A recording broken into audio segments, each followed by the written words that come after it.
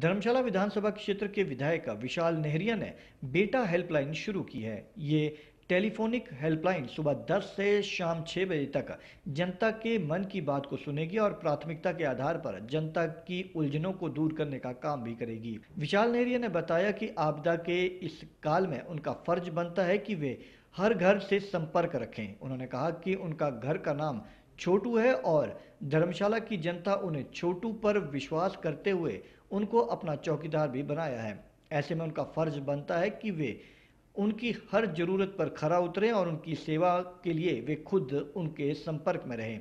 ऐसे में एक विशेष सेल गठित करके लोगों की समस्याओं को सुना गया है। इसके लिए लोगों को दूरभाष नंबर भी दिए गए हैं। उन्होंने कहा कि यहाँ मौजूद सहयोगी आपकी समस्याओं के हल के लिए काम करेंगे। इस टीम में उनकी हिस्सेदारी भी रहेगी। उन्होंने बताया कि कोई भी समस्या प्राथमिकता के आधार पर हल करने का प्रयास किया जाएगा। धर्मशाला में एक बेटा हेल्पलाइन नाम से हेल्पलाइन का आज लॉन्चिंग करने जा रहा हूँ।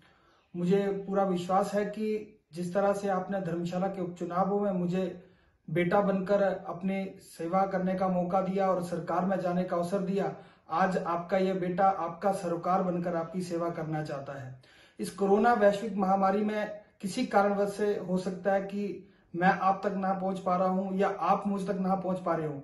इस सारा वैश्विक महामारी के कारण हो पा रहा है। मेरा आज यही मकसद है कि इस हेल्पलाइन के ज़रिए मैं आपसे सीधा संवाद कर सकूँ। इस दौरान अगर आपको किसी भी प्रकार की कोई समस्या आ रही है तो इस हेल्पलाइन पर आप अपनी शिकायत बताइए, अपनी समस्या बताइए। आपका ये बेटा आपके, आपकी समस्या को प्राथमिकता के तौर पर जो है, वो पूरा करेगा।